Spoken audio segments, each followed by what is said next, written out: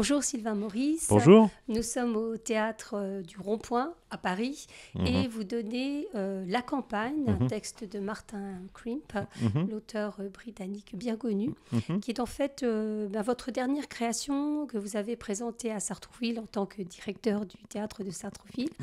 Et vous la reprenez au théâtre du, du Rond-Point.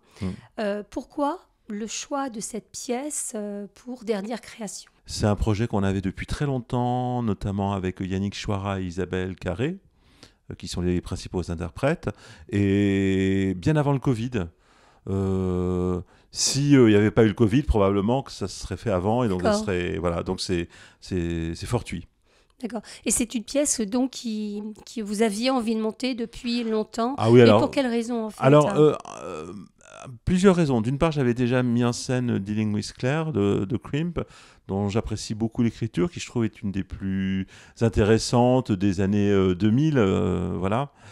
Euh, et d'autre part, je me suis aperçu, malgré moi, que j'étais en train de faire un cycle sur le couple, en fait. J'ai mis en scène Short Stories d'après des nouvelles de Raymond Carver.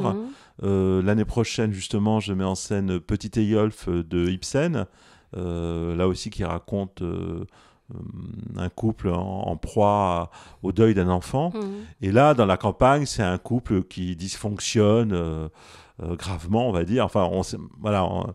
Et donc probablement que sans l'avoir cherché, il y avait un fil qui se, qui Il y a un fil secret entre ces, les différents spectacles autour du couple. Oui. Et parlons aussi de l'écriture de Martin Crimp, qui est quand même très particulière, mhm. parce qu'on a l'impression véritablement qu'il y a une sorte de partition qui est en train de se construire à plusieurs voix, mhm. un rythme, une musicalité, mhm. et en même temps quelque chose de très étrange euh, qui, sous-tend tout ça. C'est-à-dire qu'on a l'impression que ce qu'on nous dit n'est pas vraiment ce qu'on... Enfin, que tout n'est pas dit en fait. C'est très, très étrange. Oui, oui, tout à fait. Euh, en fait, euh, quand on regarde l'argument de la pièce, il est on ne peut plus classique. Euh, c'est l'histoire d'une d'un couple qui s'est réfugié à la campagne pour des raisons qu'on va apprendre, et puis on va s'apercevoir que ce couple, dont le mari est docteur et qui semble un couple aisé, bourgeois, on va s'apercevoir que il y a une troisième personne, donc c'est au fond un trio assez conventionnel euh, dans la dramaturgie. Mais en effet, comme vous l'avez très bien dit, euh, ce qui est dit n'est pas forcément ce que le fond de la situation. Euh, mais ce qui ne veut pas dire qu'il ne parle pour ne rien dire.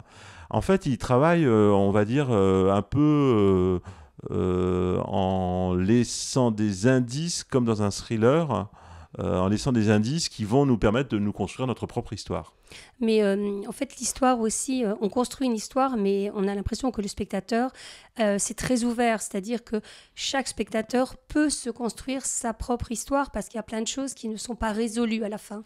Voilà, voilà, c'est tout à fait. C'est, il, laisse des points de suspension et il le fait exprès. Même si je voudrais pas qu'on donne l'impression que c'est une écriture complètement abstraite. Au contraire, elle est très concrète. Mm. Mais euh, à travers ce concret, on laisse euh, des questions ouvertes. Euh, il ne veut pas résoudre les questions. Oui. Et je trouve aussi que dans l'écriture, il y a quelque chose de très poétique, parce mhm. que je pense notamment à certains passages où Corinne, qui est le personnage féminin incarné par Isabelle Carré, mhm. se promène dans la fameuse campagne, mhm. et on a l'impression que le personnage, quand elle, elle, elle elle parle de ces... Elle peut se dissoudre. Il y a quelque chose de, très fort dans, dans, ces, dans ces récits euh, pris en charge, comme mm. la jeune femme qui est jouée par Manon Clavel, mm-hmm. quand euh, elle, elle, elle, parle de ses drogues, etc. On a l'impression aussi qu'il y a quelque chose de très fort qui se joue pour le personnage. Oui, oui, tout à fait. Le, recours à la parabole, notamment pour les personnages féminins, est en effet un procédé euh, utilisé par Crimp et qui, en effet euh, prolonge, euh, crée une sorte de profondeur euh, quant au destin et aux situations que traversent les personnages. Oui, le, bah, notamment le, la toute fin de la pièce est assez extraordinaire. Et d'ailleurs, quand on l'a lu la première fois avec Isabelle Carré, donc il y a cela bien avant le Covid, je me souviens que donc c'était une lecture vraiment impromptue comme ça. Et dès quand on a eu fini de la lire, Isabelle a dit je le fais. Voilà. Et parce que euh, la, puissance de ce qui était raconté, puisque en fait elle raconte euh, qu'elle a déambulé euh, sur la lande mmh. jusqu'à une pierre, mmh.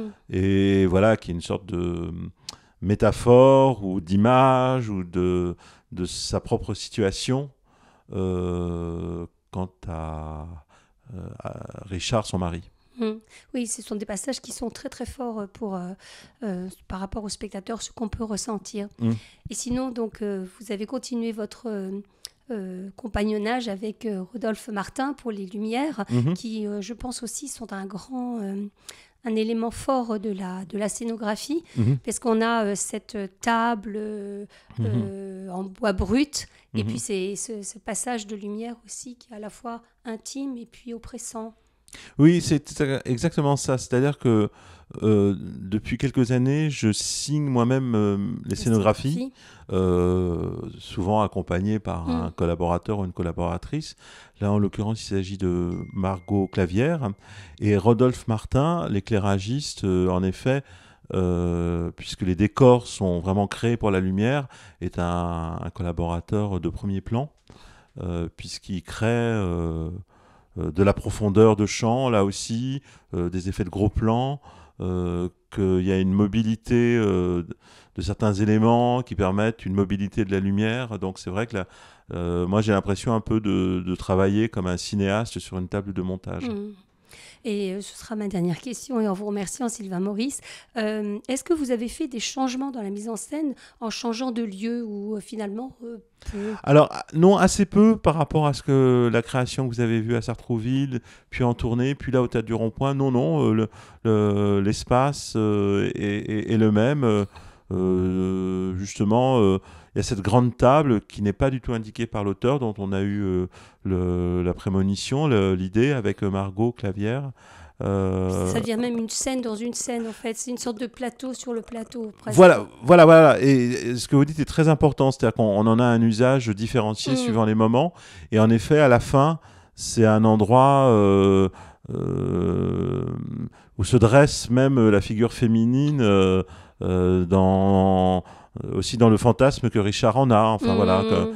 Euh, comme, euh, quelqu'un qui ferait un défilé de mode comme ça. Donc, euh, avec les fameuses chaussures.